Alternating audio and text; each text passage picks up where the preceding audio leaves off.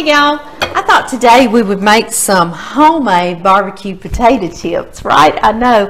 Um, I love sweet potato chips. Yum. And I thought we'd mix this up a little barbecue flavoring to put on there, make also some Irish potato chips just with your white potato. My papa Ray would grow these every year and he'd be talking to my grandmother and he'd say, "Ma, uh, honey, cook me up some of them arse potatoes. And I remember I asked my grandmother one time, Mama, what is he talking about when he says arse potatoes? And she'd say, Oh, darling, he, that's just his country accent. He's saying Irish potato. I said, Oh, okay. So, anyway, we're going to do sweet potatoes and white potatoes and chips. And I've got a mandolin right here and I've got it on about a medium thickness. And y'all I got this mandolin for like $9.99 when my boys were little at Walmart okay? I don't have any expensive uh, appliances like that. I just don't. If it's still working I'm still using it. And I just chopped the tip end of my sweet potato off and I washed it real good. I did not peel it. So easy right? And I've got a bowl of water right here for us to chop them and get them straight over in that water so they won't turn turn on us. And I'm gonna get us in closer here guys for y'all to watch. And it's also gonna, so gonna pull that starch out of our potatoes. That's what we want to do so our chips will stay crunchy and crispy. And be careful of your little fingers when you're on this mandolin. I know it's got that guard but when you first start off it's that guard is just wobbly. You can't can't use it real well, right? And y'all see right here these beautiful potato chips that we're making. See them? There we are. Those going to be crispy and crunchy and so flavorful. I'm dropping them straight down in this cold water right here. I'm going to finish these real quick.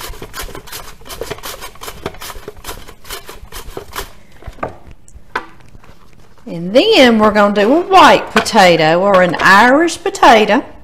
Or like my papa said, an Irish potato. And I cut the tip end of it off so as well. I've got its bowl of cold water right here. And I washed him real good so I wouldn't have to peel it. Same thing. That peeling's got a lot of the nutrients in it, doesn't it? I know. So be careful of your fingers. Keep pulling them back. Show you these potatoes. Yum! So pretty. You do them as thin as you want. Mine, I can't quite see through them. I like them to still have a little bite, but you can you can see the light pretty good through them. Okay, guys. All of these go soaking and your water's going to get real milky right off. Well, you're going to pour that out and you're going to put fresh water about two or three times until your water ends up being clear after they soak. Then you'll know they're ready for, to fry. Do you see how the water is milky down in here? It needs to be drained. Yes, on both of our bowls of potatoes, you can see that milky water. So let's drain them. It's just been a few minutes and they came right on out. Y'all see my little red colander down in here? I got this thing. You're not going to believe where. At the Grand Ole Opry in Nashville, Tennessee. I go to the Opry, take our little boys. That was when our kids were real little. Y'all see I'm rinsing these too. And uh, what does Mama want to buy in the gift shop? She wants a red colander. Uh, that was my gift, my vacation gift. But I'm a silly willy. I'm always thinking about cooking. That was years ago. Alright, we're going to start again. I'm going to pour him out, rinse out that starch out of that bowl. Rinse that starch off those potatoes. Put them back in here and give them a fresh bowl of cold water till they get milky again. There we go. yeah, guys, I always said You'd think what I paid for this at the Grand Ole Opry it at least had a little sticker or metal or something say Grand Ole Opry on it, but it doesn't. It's just Ray Colander. I guess as long as I've got my memory, I'll know where I got it, huh? Okay, y'all. I've got these. They I had rinsed them three times before mine ended up being clear while they soaked about the last 20 minutes and my water stayed clear. So now it is time to get these little things dried so we can fry them. Yes. And I put them on a cookie sheet just with some paper towels. And then y'all know we've got our Irish potatoes here too, right? Yes. So I'm going to put them on the other half. Don't want to get all that extra water on my paper towels. No, I sure don't. There we go. And I'm going to kind of layer these out. Well, they'll get good and dry for me to fry. We won't put them in that hot grease. We don't want them popping everywhere, do we? I'll even put more paper towels on top and let them dry like this pretty good. And then I'm going to go get us some grease heating up. Y'all, while our oil is heating on the stove, it needs to get to about 300 degrees to fry our chips. We're going to make us a little barbecue um, flavoring to sprinkle on it. It's going to start with two teaspoons of paprika. Just plain paprika, I know, but we're going to get to the smoked paprika. Don't y'all worry.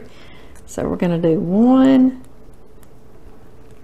you don't have to be extremely precise either. Just some barbecue seasoning. And then we're going to need one teaspoon of brown sugar, and I got that before I got on here with y'all. It's already trying to stick in my bowl. And a half teaspoon of salt. And one teaspoon of onion powder. It's good so far, isn't it? Then we need one teaspoon of smoked paprika. Y'all know we were going to get there, didn't you? You sure did. Let's see here. Let me just get this little shaker off because we need a whole teaspoon. We need a whole bunch of you, buddy. There you go. That's definitely going to give it a nice barbecue flavor, isn't it? Mm -hmm. Yes, it is. Next, we are going to need some chili powder just a quarter teaspoon of chili powder right here. There we go. And then um, one half teaspoon of garlic powder. There we go. And that is it. And we've got us some barbecue seasoning right here for our chips. It's going to be yummy wonder what it tastes like already. I'm ready to try it, guys. Y'all think? I know. It's not really going to be true. But let's see. Let's see.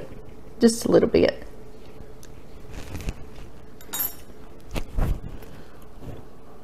I like that. I like that a lot. I'll see y'all over at the stove. We've got our potatoes nice and dry here and drained just like we wanted them. And our grease is 300 degrees. So let's get started on these. I'm going to fry them in small batches, okay? So they can uh, be nice and fluffy and get crispy. I'll put a few more in there. And just let them go a few minutes till they get as brown or as crispy as you like. It won't take long. All right, y'all, mine went about five minutes, but John and I like them kind of golden brown like this, okay? Now I'm going to put them on this sheet that has this rack on top so the grease, extra grease can drain off. I'm sure y'all can see that. Can y'all see that? Yeah. There we go. That's our Irish potatoes. Spread them out so they can get nice and crispy now we will start putting batches of these sweet potatoes. Yum! And again, you can let them go four, five, six minutes, however long you like it, okay? Just like that. These sweet potatoes, they went closer to eight minutes, guys. They're a little chewier, so they take just a little bit longer, but they're so worth it. Yes, they are. Don't they look good? They do. They do. I know.